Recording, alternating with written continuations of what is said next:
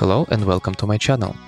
Today I will be playing Invasion 2, Map 1, Awakening. This megawad is a bit special to me, because it was the first custom megawad I ever played.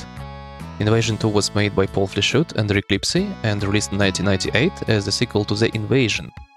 It contained 32 new maps with custom textures and music made by Mark Klem, it's supposed to be a partial conversion mode with some custom enemies, as was the invasion, but was never finished. So we have only a beta version now. I never played the invasion, but it was known for containing some things placement bugs. It was 98 after all, so I'm not even sure if we will be able to get all the kills and secrets in these levels. Also, the original Megawad was really dark, so I increased the overall brightness on all levels in Doom Builder by like 50 to 60 units to make it a bit more YouTube friendly. And I also added some widescreen assets, like title screen and the status bar. I will attach the link to the patch in the description. And I also added, a DeHackEd patch with level names. I didn't comply with the original Doom level names lens, but anyway it should work in the limit removing source ports. And by the way, I'm back to DSDA-Doom, it works here. Also these levels has some duplicate, for 98 I mean. Right, so let's start. The first level is Awakening. Let's go. Let's go kill some zombies first.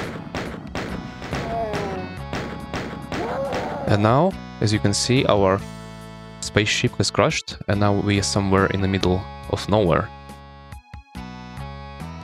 I already played the first level, selecting my next project, so I'm familiar with this one, but for the next levels, it was a really long time since I played this Megawad. So it will be like partially blind or semi-blind. So yeah, we can grab the green armor here. And let's go up here, we can press some switches and kill some hitscan. Let's see. It's only zombies and imps in this level, nothing too serious. It's the first level after all.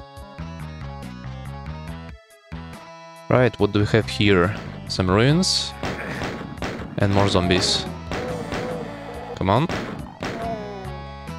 And the first imp. Some bullets here. Right, and here we have the water pool. But nothing here, so we can just quit. And now we have one switch to press. Which should open a door in the other section, I think. Right. Pretty big open area here. Then let's go back and go for the other side. Have some Stimpak. More zombies, of course. And I don't know that there is a secret here. It's not obvious. If you interact with this wall, you can get the chainsaw. Let's go chainsaw some stuff. Maybe some imps as well, somewhere. Yeah, this guy. Nice. Then we have more ammo here. Right. Then we need to go back and climb this wall again. And of course we need to go around. Right, and also nice music. I think pretty old one.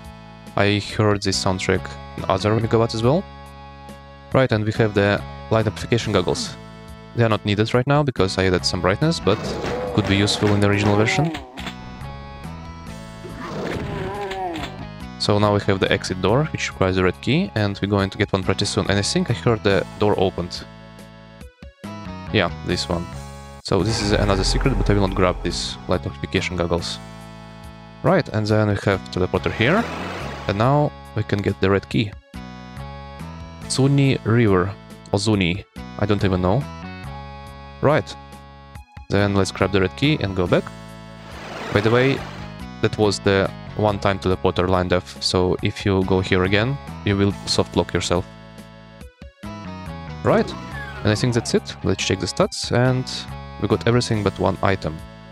I'm not sure if I even go and look for it, maybe it was the light amplification goggles. Let's see. Yes.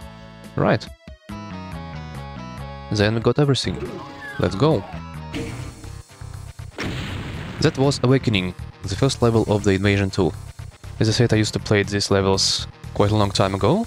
I probably remember some of the levels, but most of them will be almost blind to me. We'll see what this Megawad throw at me. See you in level 2.